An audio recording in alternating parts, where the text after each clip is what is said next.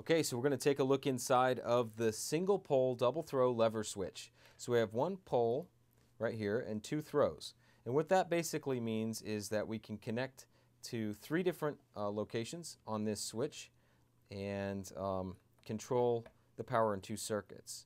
So we're going to take a little small watchmaker screwdriver and pry open the housing. Okay, so this is the inside of our lever switch. You can see it's all taken apart for us.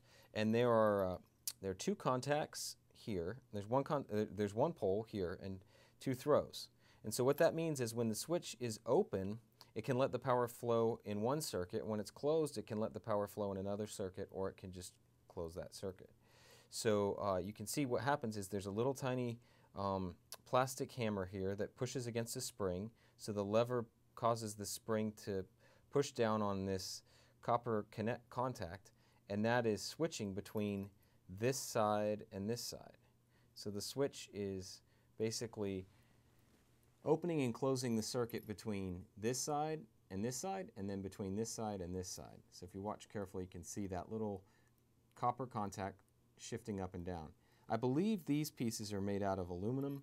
It looks like the spring is spring steel uh, looks like we have the lever here, which is probably nickel-plated steel, looks like, and uh, we have a, a copper um, contact that the spring is connected to. And I think the housing is made out of ABS. And again, that's an injection molded housing. You can see that it's it's got these little um, these little spikes here that stick up. I'm not sure if you can see that too well, but there's little spikes there. And they basically go through the top of the housing here in these little tiny holes. So if we put this like this, that's how it goes. And those little tiny spikes will stick through those holes, and then what they'll do is they'll take a, a hot plate or a, a, hot piece of steel and push it against those, those spikes that are sticking through, and they actually mush down like a mushroom on top of the uh, top of this and hold it in place. And so that's what the top of our single pole double throw lever switch, uh, how it's held in place. And again, that's a it looks like an injection molded uh, piece as well.